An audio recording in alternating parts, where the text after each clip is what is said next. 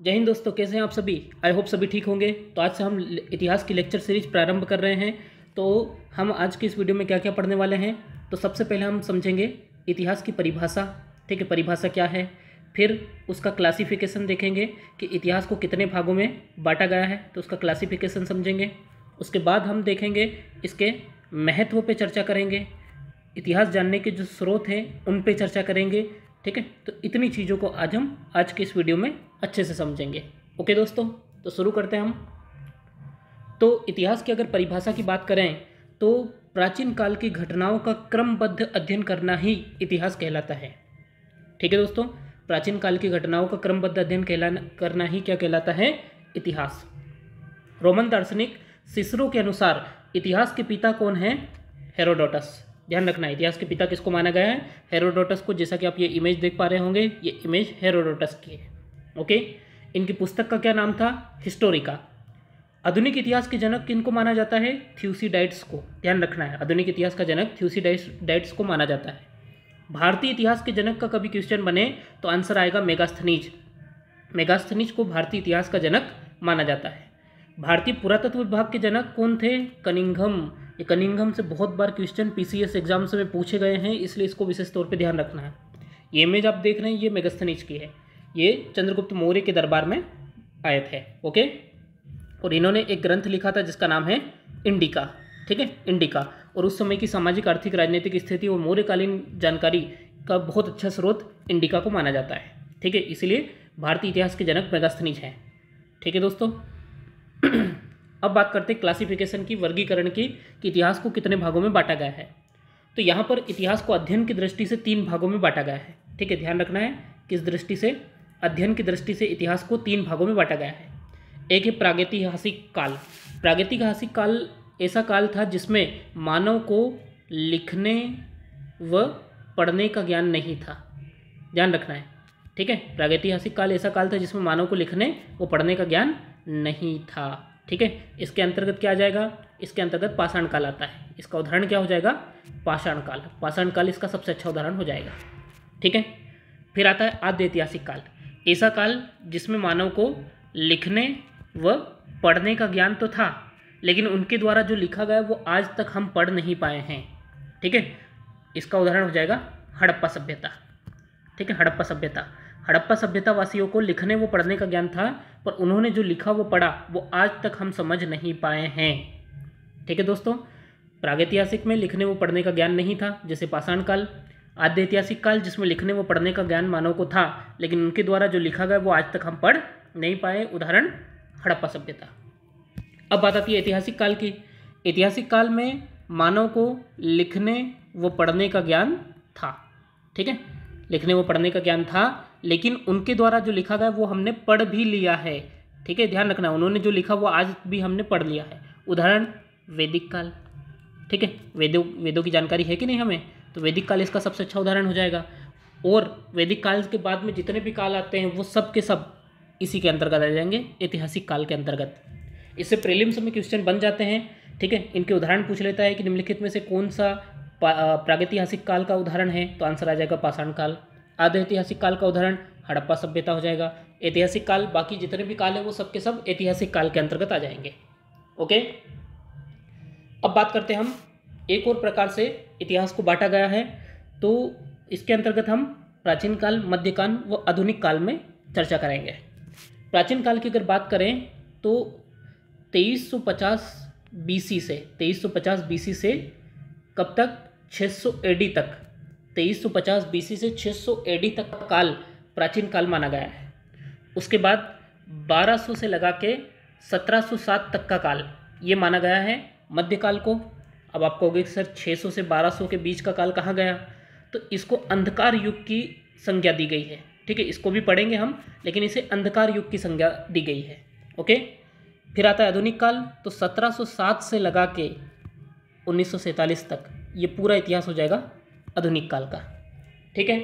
अब प्राचीन काल के अंतर्गत हम किसको पढ़ेंगे? तो प्राचीन काल के अंतर्गत हम पढ़ते हैं हड़प्पा सभ्यता को। ठीक है? हड़प्पा सभ्यता, उसके बाद क्या पढ़ेंगे? तो हड़प्पा सभ्यता, वैदिक सभ्यता। ठीक है? वैदिक सभ्यता को पढ़ेंगे और ऐसे ही कंटिन्यू करते जाएँगे हम कहाँ तक? हर्षवर्धन तक। ठीक है? हर्षवर्धन तक हम कंटिन्यू करेंगे। फिर मध्यकाल आ जाएगा। मध्यकाल को दो भागों में बांटेंगे हम। एक हो जाएगा सल्तनत काल ठीक है, एक हो जाएगा सल्तनत काल और एक हो जाएगा मुगल काल, ठीक है? तो सल्तनत में हम विभिन्न वंशों को पढ़ेंगे, जैसे कि पहला वंश रहेगा गुलाम वंश, ठीक है? तो ऐसे सारे वंशों को हम पढ़ेंगे मुल्क मुगल काल में मुगलों को पढ़ेंगे, फिर आधुनिक भारत आ जाएगा और आधुनिक भारत में कांग्रेस की स्थापना, अंग्रेज़ों का आगमन, इन सारी चीज़ों को पढ़ते हुए हम उन्नीस सौ सैंतालीस में भारत को आज़ाद कर देंगे, ठीक है? तो हमारे पढ़ने का थोड़ा क्रम रहेगा, ये आप लोगों को ध्यान रखना है। तो सबसे पहले हम शुरुआत करेंगे प्राचीन काल से, ओके? अब ये है हमारे प्राचीन भारतीय इतिहास जानने के स्रोत। तो प्राचीन भारतीय इतिहास जानने के स्रोत क्या क्या है, इनको थोड़ा समझते हैं हम।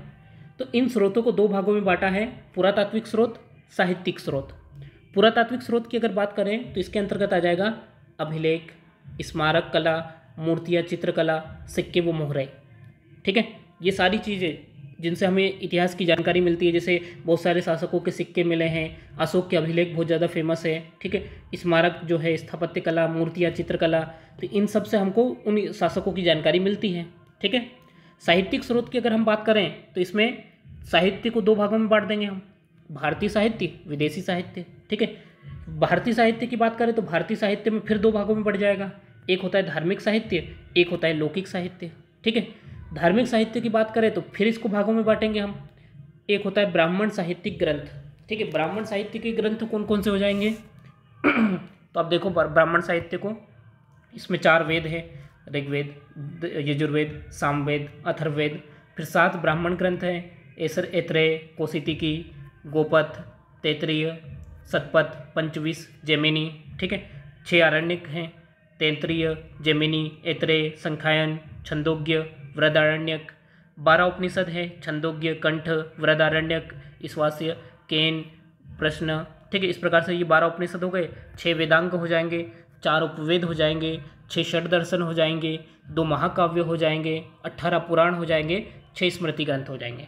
देख सकते हैं आप, इन सभी का, जैसे अट्ठारह पुराण तो पूरे का नाम लिखा हुआ है कि विष्णु पुराण, भागवत पुराण, शिव पुराण, गरुड़ पुराण, ब्रह्म पुराण, पद्म पुराण, नारदी पुराण मार्कंडे पुराण, पूरी की पूरी अट्ठारह के नाम लिखे हैं। ठीक है? तो इन सभी को आप लोगों को एक नज़र डाल लेना है। क्योंकि जब मैं इतिहास पढ़ाते जाऊँगा ना, तब एक एक पे चर्चा करेंगे हम। एक एक पे, जैसे गुप्त काल में हम सठ दर्शन पे भी चर्चा करेंगे कि क्या है सांख्य दर्शन के जनक कपिल विनु कपिल मुनि हैं, इनको थोड़ा समझेंगे। योग दर्शन के पतंजलि हैं, न्याय दर्शन के गौतम ऋषि हैं वैशेषिक दर्शन के कणाद हैं। तो ऐसे एक एक चीज़ को हम विस्तार से समझेंगे। ठीक है? अभी सिर्फ़ मैं आप लोगों को नाम नाम पढ़ा रहा हूँ। ठीक है? आगे इन चीज़ों को हम विस्तार से समझेंगे। ठीक है दोस्तों? फिर बात करें हम ब्राह्मणोत्तर साहित्य की ग्रंथ की तो इसमें बौद्ध साहित्य, जैन साहित्य आ जाते हैं, ठीक है?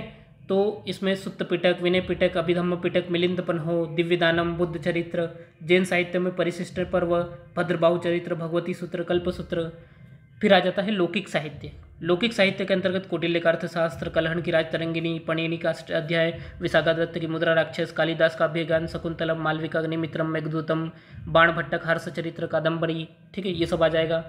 संगम साहित्य, तिरुकुरल शिल्पकाधिकारम मणिमेखले, जीवक चिंतामणि, ठीक है, ये संगम साहित्य आ जाएगा। फिर आ जाएगा विदेशी साहित्य। विदेशी साहित्य में रोमन लेखक, ठीक है, जो सिकंदर से पूर्व आए थे, सिकंदर के साथ आए थे, सिकंदर के बाद आए थे, ठीक है चीनी लेखक Fahien Hiuen Tsang Itsing, Sungyun, मातवेल, ठीक है? अरबी लेखकों की बात करें, Al Sulaiman, Al Biruni, Al Masudi, Marco Polo, Ibn Battuta, ठीक है? इतनी सारी चीज़ें हैं जिनसे हमें प्राचीन काल की जानकारी मिलती है। अगर आप प्रीलिम्स की बात करें तो प्रीलिम्स में इस चार्ट से सीधे सीधे क्वेश्चन बन जाते हैं, ठीक है? मैं कह रहा हूँ, इस चार्ट को अच्छे से कंठस्थ कर लेना, ठीक है? ये मैंने आप लोगों को सिर्फ़ नाम ऐसे ही पढ़ा दिए हैं, लेकिन आप लोगों को ये याद रखना है। इनसे सीधे सीधे क्वेश्चन पूछ लिए जाते हैं, ठीक है? अब बात करते हैं हम इतिहास के महत्व की। इतिहास के महत्व की अगर बात करें तो देखो इतिहास का बहुत ज़्यादा महत्व है, ठीक है? कैसे महत्व है? तो पहले हम साधारण भाषा में समझते हैं। जैसे, आप जब अधिकारी बनोगे तो आप सबसे ज़्यादा किससे कनेक्टेड रहोगे? समाज से। आपका सीधा फेस टू फेस कनेक्शन आप आप क्या करोगे? समाज और सरकार। समाज और सरकार के आप बीच में कड़ी रहोगे। ठीक है? आप क्या रहोगे? समाज और सरकार के बीच की कड़ी रहोगे। आप जनता से सरकार तक बातें पहुंचाओगे, सरकार से जनता तक उसका लाभ पहुंचाओगे। ठीक है? तो आपको क्या मैक्सिमम टाइम रहना है किससे? समाज से जुड़ के। ठीक? अब समाज से आप जुड़ के रहोगे तो सामाजिक समस्याओं का समाधान करोगे। ठीक है? सामाजिक समस्याओं में बहुत सारी समस्याएँ हैं। तो अल्बर्ट आइंस्टाइन कहते हैं कि अगर किसी समस्या का समाधान करना है और मुझे उसके लिए साठ मिनट दिए जाए तो साठ मिनट में से फिफ्टी फाइव मिनट किसके बारे में सोचूँगा? समस्या के बारे में। ठीक है? समस्या के बारे में। और मात्र पाँच मिनट लगेंगे मेरे को उसके समाधान करने में। ठीक है? ध्यान रखना है। अल्बर्ट आइंस्टाइन पहले समस्या की जड़ को समझते थे, उसके बाद पाँच मिनट में उसका समाधान कर देते थे।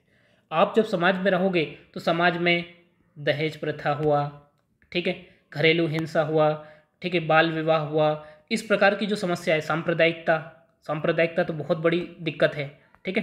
सांप्रदायिकता यानी हिंदू, मुसलमान के दंगे और ऐसे भी धार्मिक विवाद, ईसाइयों के दंगे, इस टाइप से मतलब जो होते रहते हैं, कुल मिला के धार्मिक संप्रदायों के बीच में जो दंगे होते रहते हैं तो वो सांप्रदायिकता के अंतर्गत आ जाएगा। तो इस प्रकार की जो समस्याएँ हैं, उनकी, उनको अगर समाधान करना है तो उनकी जड़ें कहीं ना कहीं इतिहास में दबी है। तो आपको इतिहास को समझना होगा, अगर आपने इतिहास को समझ लिया तो आप इन चीज़ों को बहुत आसानी से डील कर पाओगे, ठीक है? बात आ रही समझ में? तो इसलिए इतिहास पढ़ना बहुत ज़रूरी है, क्योंकि आप वर्तमान की समस्याओं को अगर आपको समाधान करना है तो इसके लिए इतिहास जानना आप लोगों के लिए बहुत ज़्यादा ज़रूरी है। ठीक है? अब देखो एग्ज़ाम में क्या लिखना है? तो एग्ज़ाम में आप लोगों को ध्यान रखना है एग्ज़ाम में किस प्रकार से लिखना है इसको? तो मेंस के दौरान आपको लिखना है शैक्षिक महत्व। शैक्षिक महत्व की बात करें तो भैया बहुत ज़्यादा शैक्षिक महत्व है, इससे हमें शिक्षा मिलती है कि नहीं? प्राचीन काल में जो अधिकारियों ने अधिकारियों के वर्ग ने जो राजनीतिक प्रणालियाँ थी उनमें जो गल, गलतियाँ हुई हैं उनसे हमें को सीखना मिलता है सीखने को मिलता है शिक्षा मिलती है ताकि हम वर्तमान में उन गलतियों को दोहराएँ नहीं। ठीक है इसकी जानकारी हमें कहाँ से मिलती है? इतिहास से। व्यवसायिक महत्व है। ठीक है आज के अगर हम अर्थव्यवस्था की बात करें तो अर्थव्यवस्था की जो वर्तमान स्वरूप है ये कहीं ना कहीं पुराने ढांचे की देन है ना उसमें अपडेशन होता रहा है। तो वो सारी सीख भी हमको कहाँ से मिलती है? इतिहास से नैतिक महत्व, बिल्कुल पुराने जितने भी महान व्यक्तित्व हुए हैं, उनका जीवन चरित्र अगर हम पढ़ते हैं, ठीक है, उनके जीवन चरित्र को पढ़ने से हमें नैतिकता की भावना आती है। जैसे महात्मा गांधी का जीवन हुआ, ठीक है, महात्मा बुद्ध हो तो उनसे हमको नैतिकता सीखने को मिलती है। तो नैतिक महत्व भी है इसका। अनुशासनात्मक महत्व अनुशासन एक ऐसी चीज़ है जो क्या करता है, आपकी विजय को निश्चित कर देता है। ठीक है? और अनुशासन हमें इतिहास से बहुत अच्छे से सीखने को मिलता है, जैसे सबसे अच्छा उदाहरण हो जाएगा चाणक्य। चाणक्य का अनुशासन सबसे महान उदाहरण हो जाएगा इसका, कि वो कितने अनुशासित थे, जिस वजह से वो इतना बड़ा एम्पायर पूरा अखिल भारतीय सम्राट उन्होंने पहला बनाया था। ठीक है? सांस्कृतिक महत्व तो है ही सही। हमारी संस्कृति के बारे में हमें सबसे ज़्यादा जानकारी कहाँ से मिलती है? इतिहास से ही तो मिलती है। आज हम कहते हैं कि हमारी संस्कृति सनातन संस्कृति विश्व की सबसे पुरानी संस्कृति है, इस पर हमें गर्व है। तो ये भावना, गर्व की भावना कि हमारा भारत देश महान है, ठीक है, ये भावना कहाँ से आती है? हमें इतिहास की जानकारी से ही तो आती है कि हमने पूरी दुनिया को महात्मा बुद्ध जैसे महान व्यक्ति दिए, हमने महात्मा गांधी जैसे महान व्यक्ति, ये सब कहाँ से थे? ठीक है, महात्मा गांधी हुए, महात्मा बुद्ध हुए, ये सब कहाँ से थे? तो भारत से बिलोंग करते थे, ठीक है? तो ये सब जानकारी हमें कहाँ से मिलती है? तो हमारे सांस्कृतिक महत्व की पूरी जानकारी हमें इतिहास से मिलती है, जिसे आज भी आज भी इस पर हमें गर्व है कि हम भारत देश के निवासी हैं। ठीक है? सूचनात्मक महत्व। बिल्कुल, हमें सूचनाएँ भी मिलती है कि कुछ समय किसका आक्रमण हुआ था, कौन कहाँ पे आया था। ठीक है? इस टाइप से बहुत सारी जानकारियाँ, बहुत सारी जानकारियाँ। कौन सा मंदिर कहाँ पे है, ये मंदिर कैसे बने? ठीक है? कौन सी मस्जिद कहाँ पे है, कौन सी मस्जिद कैसे बनी? ठीक है? तो इस टाइप से पूरी जानकारी, कौन से धर्म का उदय कब हुआ, कैसे हुआ तो ये सब जानकारी, सूचनाएँ हमको कहाँ से मिलती है? इतिहास से मिलती है, ठीक है? फिर राष्ट्रीय महत्व। देखो, राष्ट्रवाद की भावना कहीं ना कहीं इतिहास से जुड़ी हुई है, ठीक है? अगर आप महसूस करेंगे तो राष्ट्रवाद का इतिहास से बहुत अच्छा संबंध होता है। तो राष्ट्रीय महत्व बहुत ज़्यादा है, ठीक है? हमारी राष्ट्रीय गौरव, धरोही, धरोहर, संस्कृति, राष्ट्रीय आंदोलन जिन्होंने हमारे देश को आज़ाद कराया तो राष्ट्रीय आंदोलन इस प्रकार की सारी जानकारी हमें कहाँ से मिलती है? इतिहास से ही तो मिलती है ना कि हमारे तिरंगे का जन्म कैसे हुआ, भारतीय संविधान का जन्म कैसे हुआ, ठीक है? अंतर्राष्ट्रीय महत्व। देखो, हम जब इतिहास पढ़ते हैं तो विदेशों विदेशों की भी जानकारी लेते हैं। विदेशी साहित्यकारों को पढ़ते हैं, विदेशी इतिहासकारों को पढ़ते हैं, विदेशी आक्रमणकारियों को पढ़ते हैं, जिससे हम वहाँ की संस्कृति को समझते हैं। वहाँ की संस्कृति को समझते हैं, जिससे हमारा अंतर्राष्ट्रीय संबंध अच्छा होता है, ठीक है? जैसे हम बात करें इंडोनेशिया इंडोनेशिया में रामलीला आज भी मनाई जाती है। तो ये सब चीज़ें जो है, ये हमें अन्य देशों से जोड़ती है, ठीक है? तो अंतर्राष्ट्रीय महत्व भी हो जाएगा। एक और तरीका इसको लिखने का। इसको इस तरीके से लिख सकते हैं हम। सामाजिक महत्व, ठीक है? आर्थिक महत्व हुआ, ठीक है? सामाजिक, आर्थिक, राजनीतिक महत्व हुआ। तो इस टाइप से भी हम इसको बांट सकते हैं। सांस्कृतिक महत्व हुआ। तो आपको जिस पैटर्न में लिखना है, ठीक है? आप उस पैटर्न में इसको लिख सकते हैं। धार्मिक महत्व हुआ, ठीक है? तो आप अगर चाहें मेंस में जब कि क्वेश्चन आए तो इस प्रकार से लिख सकते हैं, शैक्षिक महत्व, व्यवसायिक महत्व, नैतिक महत्व, इस टाइप से फ्लो चार्ट बना के लिख सकते हैं, या फिर आप इस प्रकार से लिख सकते हैं, सामाजिक, आर्थिक, राजनीतिक, सांस्कृतिक और धार्मिक महत्व। ठीक है? तो जैसा आपको उचित लगे। ऊपर एग्ज़ाम्पल ज़रूर देते रहना, जैसे बीच बीच में मैंने एग्ज़ाम्पल दिए, महात्मा गांधी का, महात्मा बुद्ध का, चाणक्य का, नैतिकता। ठीक है? तो इस प्रकार से आपको एग्ज़ाम्पल दे के लिखना है तो आपके आंसर राइटिंग में उससे जान आ जाएगी। ओके दोस्तों? तो ये महत्व बहुत इंपॉर्टेंट है। इस चीज़ को आपको भूलना नहीं है।